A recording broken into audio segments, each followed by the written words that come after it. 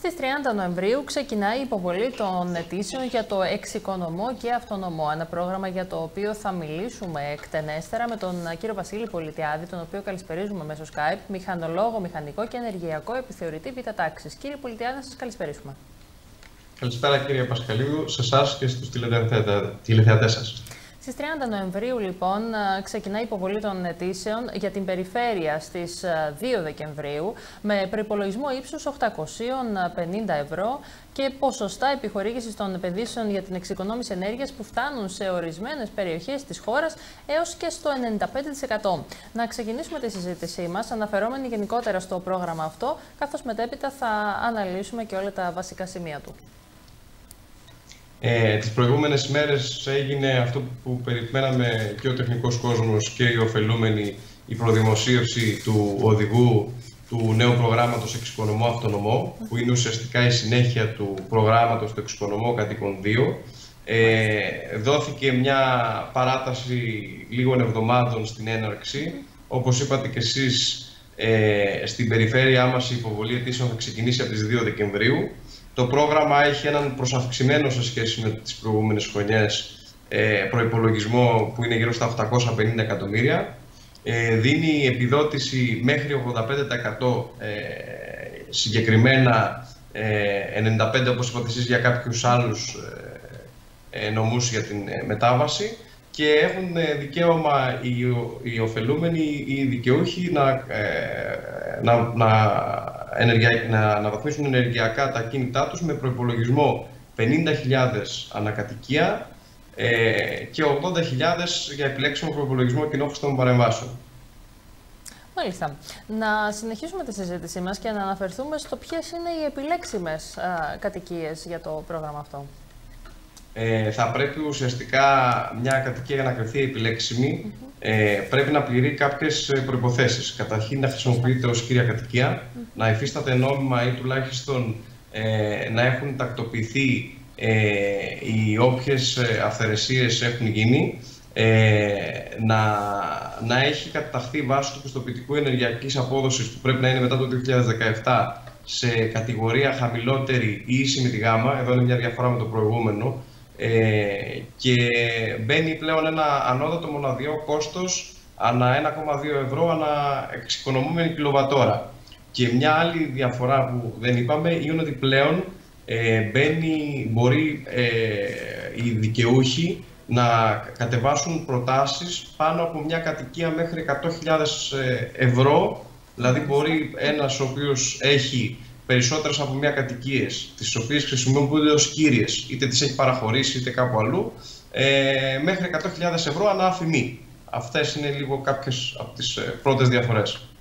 Μάλιστα. Τώρα, ποιοι είναι οι ωφελούμενοι, αναλόγως βέβαια με τα εισοδηματικά κριτήρια, για να μπορέσουν να συμμετάσχουν στο πρόγραμμα αυτό; Ε, οι ωφελούμενοι είναι όλα τα φυσικά πρόσωπα που έχουν στο, στην κατοχή τους. Ε, μια κατοικία που είπαμε με τις προηγούμενες ε, προϋποθέσεις. Και βάσει τώρα με έναν ε, προϋπολογισμό στην περιφέρειά μας ε, γύρω στα 74 εκατομμύρια, ε, αναλόγως ε, του εισοδήματος είτε είναι οικογενειακού είτε είναι ατομικού, βγαίνει ένα βασιστό, βασικό ποσοστό επιχορήγησης, προστίθενται για τη χρονιά 2020-2021 ένα μπόνους COVID 10% και ένα ενεργειακό premium αναβάθμισης όταν δηλαδή ένα κτίριο είναι αρκετά ενεργοβόρο, ζήτα ή ΙΤΑ, που συνήθως αυτά είναι πρώτου κανονισμού θερμομόνωσης από το 1980 και πριν, ε, και αν το πας σε β' ενεργειακή κατηγορία δίνει άλλο 10% ουσιαστικά. Με, και φτάνει μέγιστο στην περιοχή μας μέχρι 85%. Πολύ σημαντικό. Τώρα, όσον αφορά το ποσοστό επιχορήγησης, το οποίο ε, βγαίνει σύμφωνα με τις ισοδηματικέ κατηγορίες που ανήκει ο, κάθε ενδιαφερόμενος και ωφελούμενος. Όπως είπαμε και πριν, είναι μέχρι 85% το μέγιστο ποσοστό επιχορήγησης. Πλέον μια βασική διαφορά είναι η διεύρυνση που έγινε, δηλαδή πλέον περιλαμβάνει και τα μεσαία προς υψηλά εισοδήματα, ε, δηλαδή προσθέθηκαν οι κατηγορίες στο, στο οικογενειακό το 40 έως 70 που δίνει μια, ε, μια, ένα, μια επιδότηση 45% συν 10 το COVID Premium συν 10 άρα σε, σε, σε μεσαία εισοδήματα και υψηλότερα πάμε στο 65 και στα 70 με 120. Αυτές είναι οι βασικές διαφορές. Τώρα, δικαιούχοι επίσης είναι ε, αυτό που δεν είπαμε, κάποιες πολυκατοικίες τύπου Α και τύπου Β. Δηλαδή, μπορούν ε, οι δικαιούχοι να κατεβάσουν μια πρόταση σαν ολόκληρη πολυκατοικία ε, και είτε να κάνουν παρεμβάσεις στα διαμερίσματά τους, είτε να κάνουν ξέχωρα μόνο ε, στην αναβάθμιση ανελκυστήρα, δηλαδή ε, δίνει ένα ε, με συγκεκριμένο ποσοστό επιχορήγησης, 60% συν 10 αυτή την περίοδο 70 ναι. και δίνει κίνητρο ουσιαστικά για να αναβαθμίσεις ε, τον ανελκυστήρα ε, με πιο σύγχρονο και λιγότερο ενεργοβόρο όπως και το φωτισμό της, ε, της πολυκατοικίας. Αυτές γιατί θα ανοίξουν λίγο πιο μετά, αν θυμάμαι καλά, στις 11 πρώτου. Ε, ουσιαστικά ε, δίνει κίνητρα να αναβαθμιστεί όλη η πολυκατοικία, είτε η κοινόχρηστη είτε τα διαμερίσματα. Πολύ σημαντικό. Τώρα, όσον αφορά την δυνατότητα που έχουν οι ωφελούμενοι να πραγματοποιήσουν παραπάνω από μία αιτήση, τι ακριβώς συμβαίνει με αυτό; Στο προηγούμενο υπήρχε ο περιορισμός ανάφημη, δηλαδή δεν μπορούσες, ε, αν είχες ε, δύο ή τρεις κατοικίες, έπρεπε να επιλέξεις ε, μόνο μία. Τώρα δεν μπαίνει ο περιορισμός, δηλαδή κάποιος που έχει πάνω από ένα κίνητα και χρησιμοποιούνται από κάποιον, είτε το έχει παραχωρήσει είτε τα ενοικιάζει και είναι ως κύρια κατοικία στον ε1, στο ε1 του, ε, μπορεί ουσιαστικά να, να τις αναβαθμίσει ε, και δίνει το περιθώριο των 100.000 ευρώ σε άθροισμα ε, προϋπολογισμού. Πολύ ωραία. Τώρα, όσον αφορά τις ε, επιλέξιμες ε, κατηγορίες και τις, τις υφιστάμενες, αλλά και τις νέες των, των παραμβάσεων, να, να συζητήσουμε για το τι αφορούν. Ε, οι κατηγορίες, ε, οι παρεμβάσεις, οι επιλέξιμες είναι αυτές που ήταν και στο προηγούμενο πρόγραμμα. Ε, η τοποθέτηση θερμομόνωσης ε, στα κάθετα και οριζόντια δομικά στοιχεία, δηλαδή είτε στο δώμα, είτε στην πιλωτή, είτε στις όψεις του κτηρίου, ε, η αντικατάσταση των κουφωμάτων, ε, είτε με ξύλινα, είτε με PVC, είτε με αλουμινίου, ε, η αντικατάσταση και αναβάθμιση του συστήματος ε, θέρμανσης. Εδώ μια διαφορά η οποία υπάρχει είναι ότι εξαιρούνται πλέον οι λέβητες πετρελαίου. Mm. Επιλέξιμα είναι είτε ε, τα συστήματα ε, αντλίας θερμότητας, είτε οι λέβητες ε, φυσικού αερίου γραερίου, γιατί όπως ξέρουμε το φυσικό αέριο θα προχωρήσει κατασκευή στην περιοχή, οπότε είναι και αυτό μια επιλέξιμη δαπάνη. Η αναβάθμιση του συστήματος ε, ψήξης και κλιματισμού, δηλαδή μπαίνουν ε, ουσιαστικά ε, κλιματιστικά ε, λιγότερο ενεργοβόρα, πιο σύγχρονα.